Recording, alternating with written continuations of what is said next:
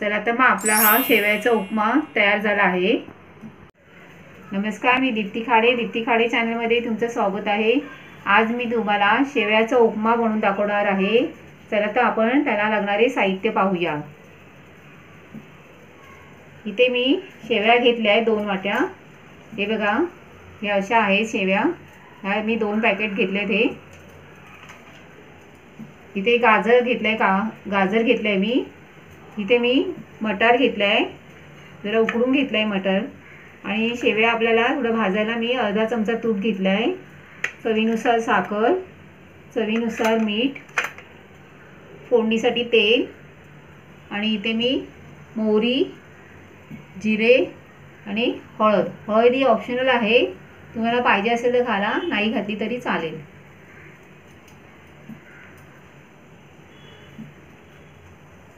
आणि इथे मी दोन वाट्यांना दोन वाटी पाणी गरम करायला ठेवलं आहे.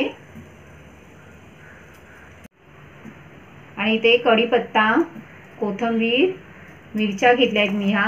जरा मोठ्या मोठ्याच कापून घेतल्या आहेत. टॅमॅटो घेतला आहे आणि कांदा छोटे छोटे चार कांदे घेतले आहेत. चला तर मग आपण रेसिपी करूया. आता मी गॅसवर कढई तापत ठेवली आहे. आता त्यामध्ये मी तूप घालत आहे.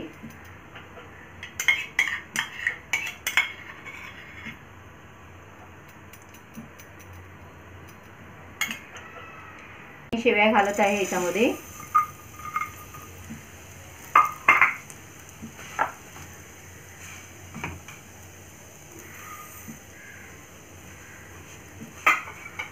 आता आपण चांगले तुपामध्ये परतून घेऊया. जास्त काळपट करायचे नाहीये. थोडासा लालसर रंग आला की आपण गॅस बंद करूया. हे बघा अशा लालसर झाल्या आहेत हा. स्लो गॅसवरच करायच्या आपण. आता हे लालसर आहे. तर मी हे काढून घेत आहे. हे बघा. आता मी काढून घेत आहे.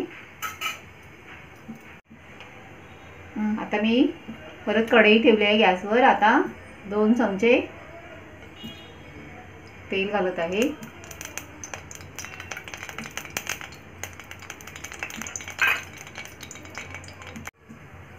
तेल चांगलं तापलं आहे. आता मी यामध्ये राई घालत आहे.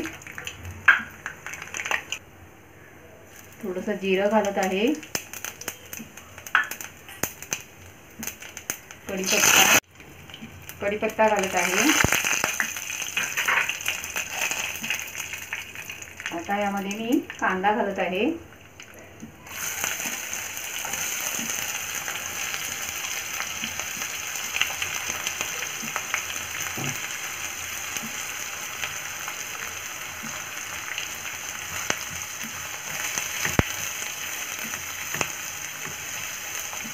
आता मिरच्या घालूया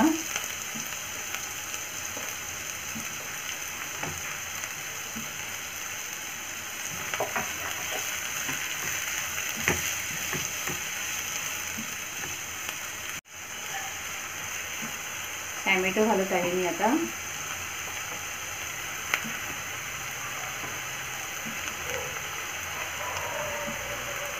टॅमॅटो सुद्धा ऑप्शनल आहे.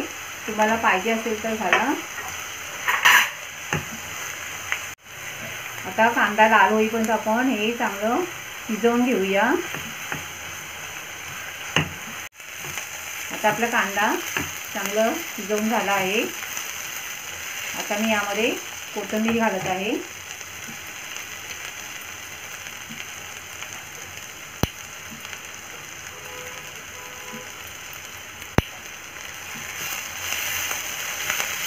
आता मी बटाटा आणि गाजर घालून घेते.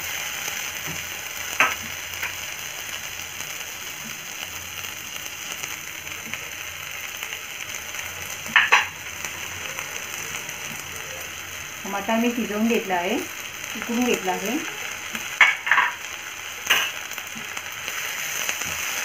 चांगलं परतून घेऊया.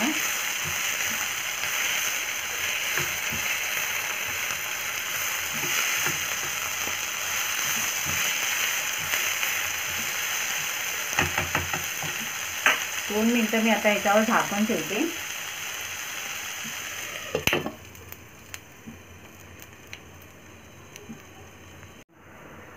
आता मी झाकण काढत आहे. थोडं पण परतून घेऊया.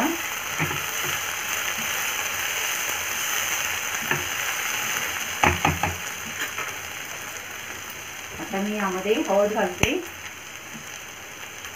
मी नाही घातली तरी चालेल.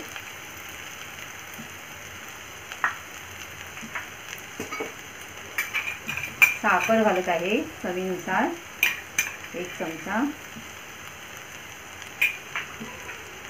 मीठ घालत आहे.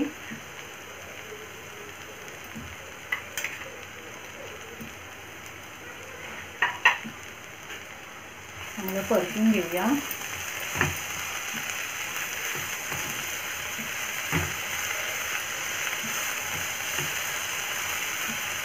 आता मी यामध्ये दोन वाटी गरम पाणी करून घेतलं होतं.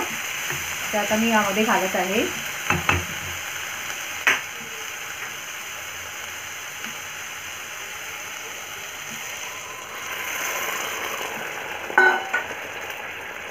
आता चांगली उकळी काढून घेते. दोन मिनटं झाकण ठेवून त्याला उकळी काढून घेते पाण्याला.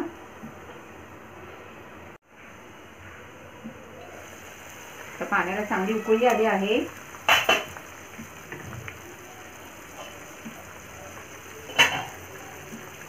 आता मी यामध्ये शेव्या घालत आहे.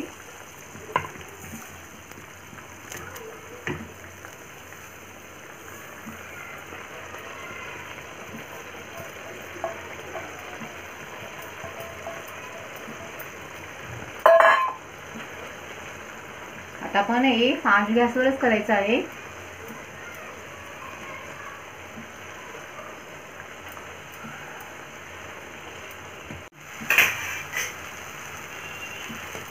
आता मी यामध्ये पाणी घातलंय ना आता ते पूर्ण मी आता हे पाणी सुकवून घ्यायचं. जसं आपण रव्याचा शिरा उपमा बनवतो ना तसंच बनवायचं आहे. सेम अशाच पद्धतीने तुम्ही रव्याचा पण उपमा बनवा. छान लागतो. आता मी स्लो करते आणि कोथिंबीर घालून घेते यावरून.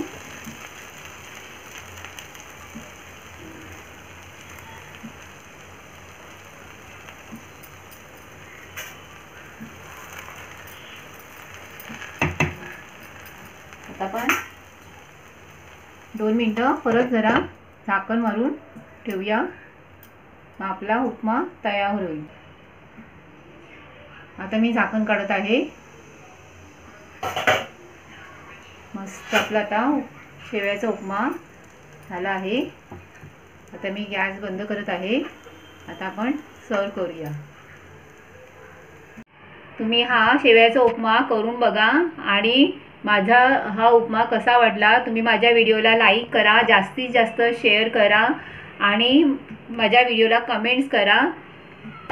आणि बाजूला बेल आयकॉन दिला आहे त्यावर क्लिक करा. म्हणजे माझे येणारे नवीन नवीन व्हिडिओ तुम्हाला पाहायला मिळतील. धन्यवाद.